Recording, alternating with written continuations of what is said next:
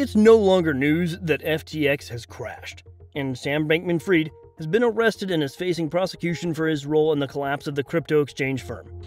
The former CEO and founder of FTX, Sam Bankman Fried, was in charge of billions of dollars of customers' money, and he can't, until now, account for it.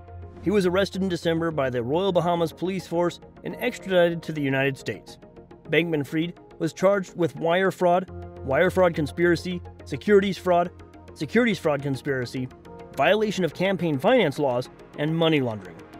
He could face up to 115 years in prison if convicted on all counts. He recently pleaded not guilty to all the charges and is out on a $250 million bond. However, the court specified that he has to live at his parents' house in California as part of the bond conditions. The $250 million bond is the most significant bond ever set in an American criminal trial. Nevertheless, it represents just a tiny amount of the total money Bankman Fried either squandered or couldn't account for. One of the first places you can say FTX's customers' money went is into the numerous purchases and investments made by SBF when he was still CEO of the company. Bankman Fried's FTX was worth more than 15 billion and held billions of customers' funds. But he claimed to have transferred over half of these funds to Alameda Research, a sister company. He also bought into several crypto companies and used customer funds to invest in multiple companies. The shocking news is, with the FTX collapse, all these billions of dollars and investments have suddenly disappeared. SBF filed for bankruptcy, and although he is more or less under house arrest following his $250 million bond fulfillment, customers whose money was misappropriated are not pleased that he is not in jail. They wonder about the rationale between allowing someone responsible for the loss of billions of dollars an opportunity to enjoy Christmas and New Year's with his family. Some have claimed that there is a government conspiracy to free him because he significantly financed the current U.S. government's campaign. Others pointed to the fact that no upfront payment was made for the bail, instead, his parents' house was put up as a security for the bond. Bankman Fried can only leave the house for exercise, mental health, and substance abuse treatment. He can welcome some visitors and have a security detail, but he also has surrendered his passport and is not allowed to possess a gun or any destructive weapon. To add to his arrest, he cannot make any transaction above $1,000 without approval. Although he wears an ankle monitor and is under supervision, he has claimed that he has received death threats. Still, the question on almost everyone's mind is what happened to the billions of dollars customers invested in Bankman Fried's FTX crypto exchange company?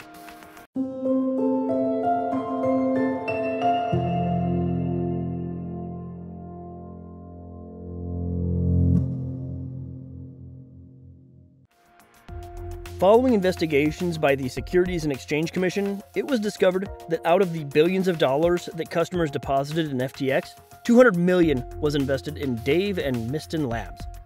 Dave, a fintech company that went public a few months ago, received $100 million as an investment from FTX.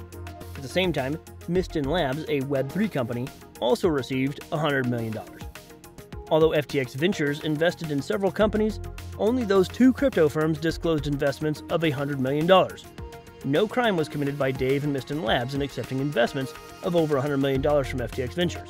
Still, it shows how FTX diverted customer funds without their knowledge into different firms and crypto companies. Using his hedge fund firm, Alameda Research, Bankman Fried used customers' funds to invest in several DeFi and crypto projects. He also put some money into startup video game studios, online banks, betting platforms, a military drone maker, a vertical farming company, publishers, and a fertility clinic. Wow, this could be a story for a novel. His portfolio also includes stakes in Sequoia Capital, Elon Musk's companies, the Boring Company, and SpaceX, and Anthony Scaramucci's Skybridge Capital. Another possible location for customers' funds will be Alameda Research, another SBF owned company.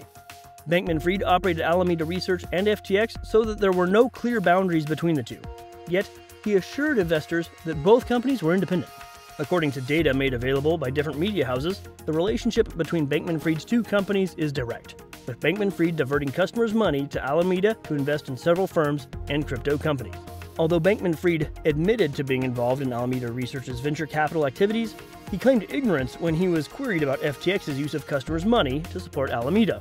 While Bankman Fried claims that he is innocent, Caroline Ellison, the Alameda CEO and romantic partner of Bankman Fried, has pleaded guilty to several charges involving fraud and misusing money.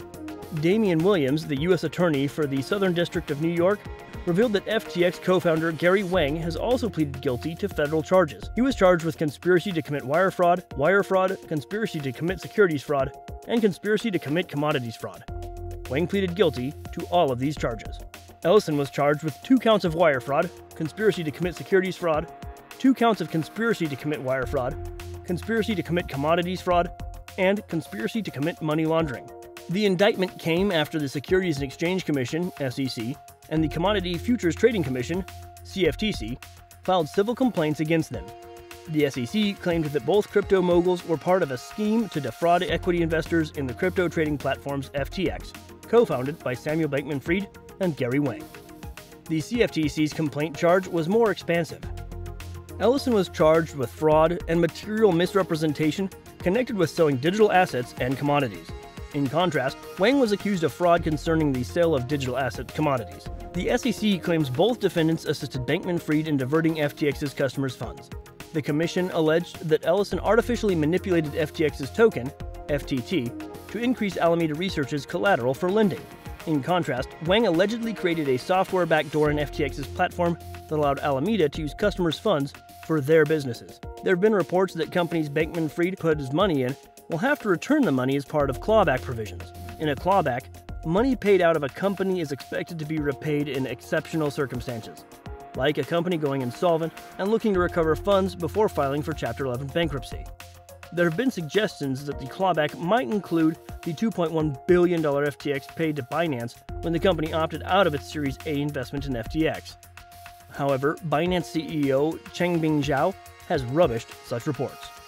Nevertheless, U.S. Attorney William Dave has announced they are working round the clock to trace and retrieve the missing customer funds. To ensure this is done swiftly and effectively, the U.S. Attorney's Office of the Southern District of New York has created an FTX task force that oversees investigations and prosecutions related to FTX's collapse and recovering missing customers' funds. The task force comprises senior prosecutors from the Attorney's Office, money laundering, public corruption, transnational crime enterprise, and securities and commodities fraud units. They're expected to work together using asset forfeiture and cyber capabilities to trace and retrieve billions of dollars of customers' funds. FTX's new management has also adopted a similar strategy and hired Alix Partners, a financial advisory company, to trace the company's missing digital assets. Attorney William Dave has hinted at more arrests, urging anyone involved in any illegal activity at Alameda Research or FTX to submit themselves to the law before investigations reveal them. Among the money expected to be traced and recovered is about $372 million worth of missing digital assets. The assets were stolen by an unknown perpetrator a day after FTX filed for bankruptcy. The thief made away with about 228,523 ETH and transferred the assets out of the exchange as it battled bankruptcy and internal collapse. Preliminary investigations revealed that the transaction was unauthorized. FTX released a statement on November 12th warning customers of unusual wallet activity carried out by an unidentified person. Could this be where customers' funds went? Elliptic, a blockchain forensic firm, revealed that the number of unauthorized transfers carried out was around 477 million. It stated that the unknown thief swapped the stolen ETH for renBTC before changing it to Bitcoin through the Ren Bridge service. Ren was bought in 2021 by Alameda Research, a sister company to FTX, Elliptic has confirmed that Ren was used to laundering multi million dollar crypto. When Bankman Fried was quizzed about the incident, he claimed that it was the handiwork of either someone who had unauthorized access to an ex employee's computer or an ex employee of FTX. He admitted to having narrowed the suspects down to eight people. However, he couldn't identify which of them committed the crime. ZachXBT, a crypto analyst, claimed that some of these stolen assets were sent to OKX, a Singapore based crypto exchange, through a Bitcoin mixer. As if to confirm, the managing director of OKX, Lennix Lai, admitted that the company is aware of the situation and is monitoring the wallet flow. The collapse of Sam Bankman Fried's FTX has ignited more talk about better regulation of cryptocurrency. As the discussion rages, investigators and prosecutors continue to trace FTX funds outflow and the companies to which this money was loaned or invested. The recovery of these funds might be a success. However, the decentralized nature of blockchain and cryptocurrency industry may pose a hindrance.